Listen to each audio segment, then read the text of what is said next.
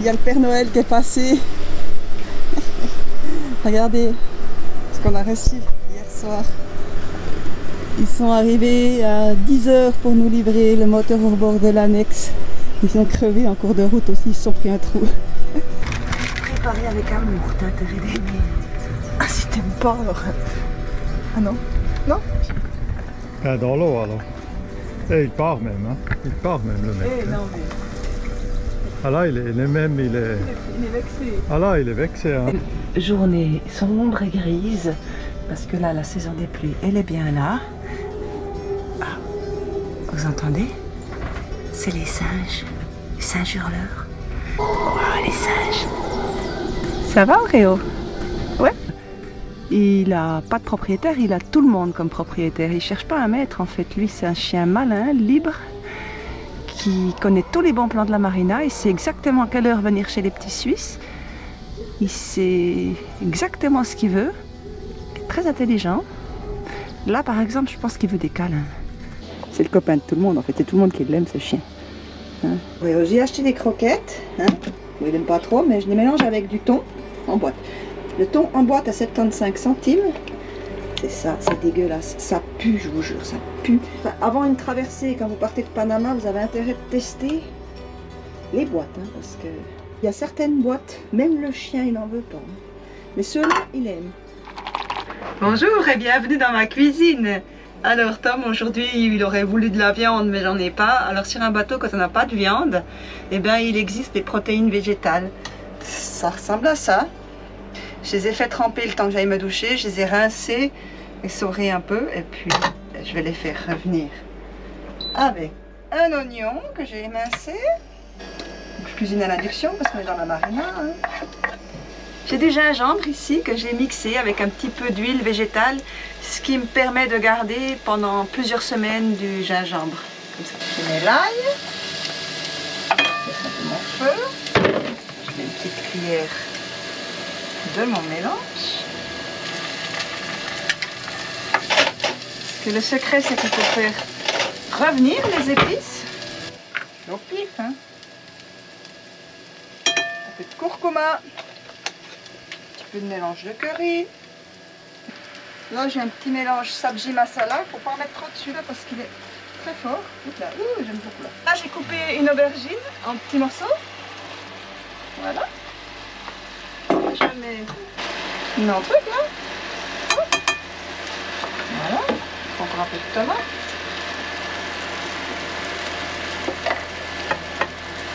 Et maintenant, ben, je vais euh, faire mijoter tout ça pendant le temps quoi.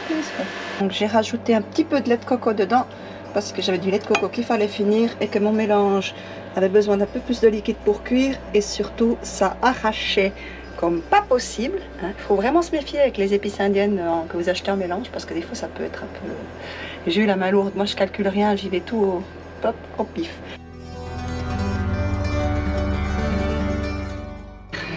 Parce que franchement, on a du boulot et j'en ai marre. hein. Petite journée euh, productive, on va dire. Oui. Hein, Qu'est-ce que t'as foutu le bordel là? My God, mon Dieu. Bon, après que- la femme euh, euh, de capi- du capitaine a fait un peu la pression à midi. euh, genre qu'on n'avance pas assez. On est en train de réviser le chauffage en fait. On va changer un des tuyaux du chauffage qui est là au fond de notre coffre de stockage qui est complètement écrasé. Puis bon, ben, le coffre de stockage c'est toujours un peu... euh, On en stocke beaucoup des choses là mais c'est pas toujours accessible. hein. Comme il avait tout fois deux, euh, ben, on a deux paires de roues pour l'annexe. Donc je pense qu'on va se débarrasser d'une paire de roues. On va essayer de ranger un peu au mieux. hein. Et puis ça donne euh, l'air chaud vers la cabine arrière. L'aspirateur, s'il te plaît. L'aspirateur Oui. Encore aujourd'hui. Qu'est-ce que tu m'expliquais hier avec... euh, Que je passe la moitié de ma vie en train d'écrire des, messages au Panameño euh, pour faire des rendez-vous, euh, pour essayer d'avoir des rendez-vous, euh, pour avoir du matos qui vient de- des États-Unis, etc., etc. Et puis il faut le réécrire mille fois pour avoir un résultat. Donc je passe beaucoup, beaucoup de temps en tapant des, des messages sur WhatsApp. Bon, il y a des jours où Il y a des jours où tout va bien. Et switch. Tu sais comment moi j'aime déballer des colis. Ça, je suis curieuse, j'adore faire ça.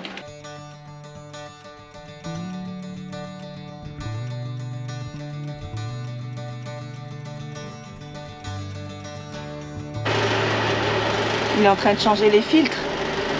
Oui, sauf que il y a de l'air dans le système, donc euh, C'est galère c'est pas facile. hein. Ensemble avec le mécano, on a changé tous les filtres, euh, tous les filtres à essence et le filtre à huile aussi. On a fait un vidange. Euh, nous, on est équipé avec une pompe manuelle pour faire le vidange, mais lui, il avait une pompe électrique, donc ça allait un peu plus vite. En principe, tu fais un service euh, une fois par année à peu près. Pour euh, faire un service vidange d'huile, changer les filtres principes, tu fais une fois par année, oui, ou tous les 100 heures à peu près, je sais pas, maintenant, Mm. ça dépend des moteurs aussi.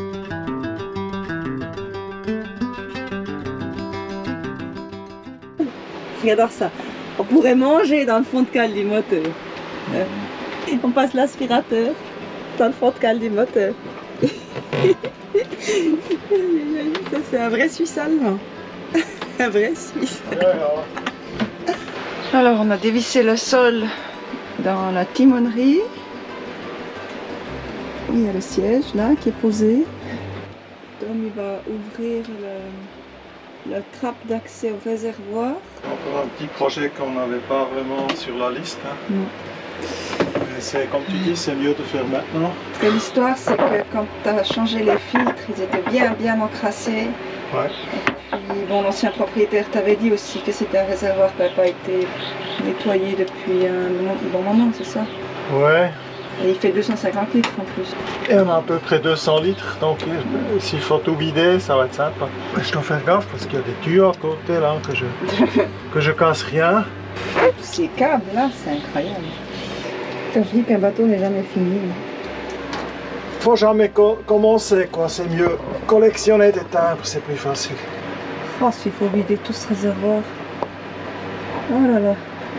Et le nettoyer avec cette petite trappe là, les chiffons, on va bien s'amuser. Pendant que Tom y travaille et puis que c'est le bordel dans le bateau qui fait pas beau dehors, moi j'ai pas grand chose à faire alors je suis en train d'être euh, dans un nouveau projet. J'essaye d'écrire un livre. Non, J'essaie. tu essayes pas, tu écris un livre. Voilà, il y a des jours où ça avance, il y a des jours où ça avance pas. Il y a des jours où je suis motivée, il y a des jours où je suis moins motivée. Ouais. Très important, un aspirateur à bord, c'est très important. Un bon aspirateur. C'est ouvert, c'est bon, c'est la bonne nouvelle.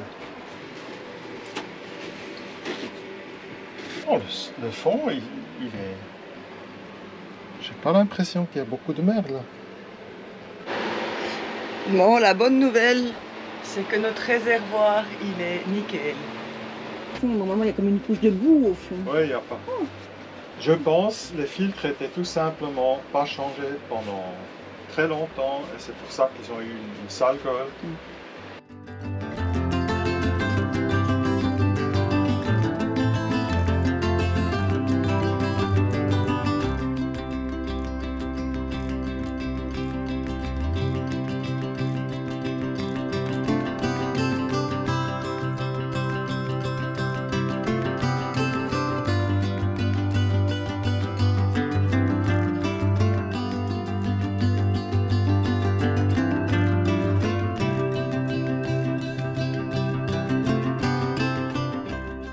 Moi, comme je comprends rien à l'électronique puis à tout ce commerce, je sais- on en est où là maintenant? Euh, bah, on est presque au bout là maintenant. Le, le tableau principal il est quasiment fini. Il faut maintenant mettre un peu encore de l'or dans le câblage, euh, que ce soit un peu plus propre, qu'il y ait un peu moins de, de spaghettis. C'est nouveau ça? Mmh, ça va. c'est- Je l'ai jamais vu ce truc là. Quand j'ai enlevé le VHF, il y avait ici un, un- des, des- des mèches, des trous et tout. Et après... Capitaine Squatter, Ouais, voilà. C'est joli. Ouais, c'est joli. Je suis super motivée. Je suis super motivée. Ben, Comme on stocke le bateau chaque année, euh, ça nous fait aussi pas mal de boulot pour, euh, pour revenir à bord aussi, et pour stocker, pour revenir à bord, hein, parce que quand on stocke le bateau, on le désarme complètement, on enlève tout. Donc après, il faut remettre tous les voiles, il faut remettre tous les drisses, tout ce commerce. Et puis après, il faut que je trie les photos, parce que Tom, pour remplir la caisse de bord, il écrit des articles, et moi, je m'occupe des photos. J'aime pas passer du temps sur l'ordi, mais Bon, après, c'est encore un, un beau travail quand même. Hein, mieux que nettoyer les fonds, car en plus, tu as une blessure. Hein. ouais, qu'est-ce que j'ai fait? Il m'a fait tirer un câble dans le mat, Tom. Et j'ai une tendinite. Au lieu de tirer le- le- la longueur qu'il nous fallait, il m'a fait tirer euh, 25 mètres de câble. hein. Il voulait que je fasse du sport. On a faim, qu'est-ce qu'on mange? Je ouvre le frigo. Et là, je constate qu'il me reste un demi-oignon rouge, de la feta qu'il faut finir, une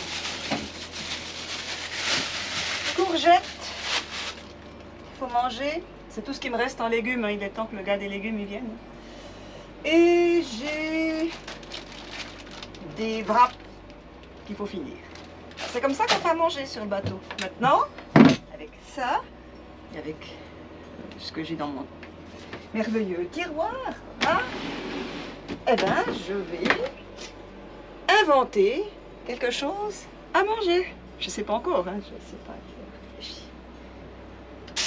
Vais faire venir l'oignon avec la courgette. J'ai trouvé une boîte de black beans, les haricots noirs. J'aime bien ça. Je les ai rincés là.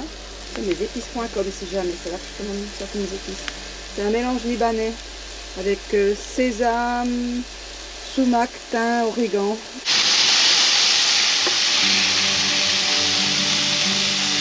J'ai ajouté la feta.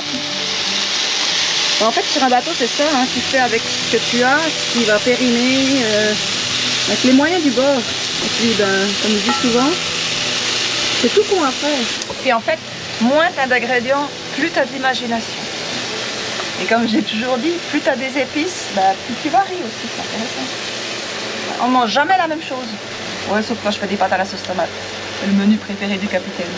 Après, qui est important sur un bateau, quand on cuisine, c'est euh, que ça dure pas trop longtemps parce que sinon il fait vraiment chaud et que ça fasse pas trop de vaisselle parce que sinon bah, c'est vraiment euh, beaucoup de boulot. Bah, des jours c'est que ça fait- Et des jours j'ai beaucoup beaucoup de vaisselle, mais comme j'aime pas faire la vaisselle, eh ben, j'essaie de limiter. Je crois que c'est cuit là. Bon, on va goûter. hein. Le wrap, il est en train de cuire. C'est une minute de chaque côté. hein. Et puis là, ben, j'ai ma préparation. Bon, ici, tu trouves plein de, de sortes de wraps comme ça. euh. Quand on voyage, euh, on s'adapte aussi un petit peu à ce qu'on trouve dans les pays. hein. C'est clair qu'ici, pour trouver du fromage, euh, c'est pas génial. hein.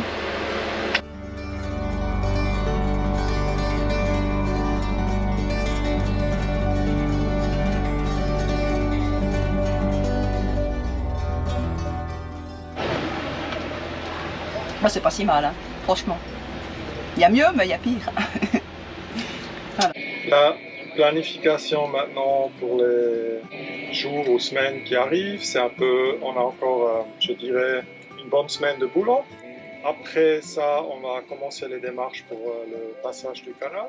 En même temps, on va bouger au mouillage parce que là, il faut encore activer le dessalinateur qui a été stocké maintenant pendant plusieurs mois aussi. Ensuite, on va bouger à Colonne pour faire les mesures et on va passer une petite semaine euh, là-bas en attendant le rendez-vous pour faire le passage du canal.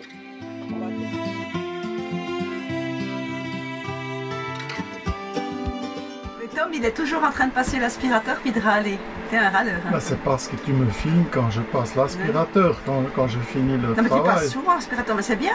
Oui, euh, quand je fais du chenille, quand je fais un bordel sur le bateau, après je range et je, voilà, je, j'essaye de Non, d'effacer mais c'est un homme à marier. Il fait l'aspirateur et puis il fait la vaisselle. Oui, mais je suis pas toujours... Mais il Euh... cuisine pas. Oui, je j'aime pas cuisiner.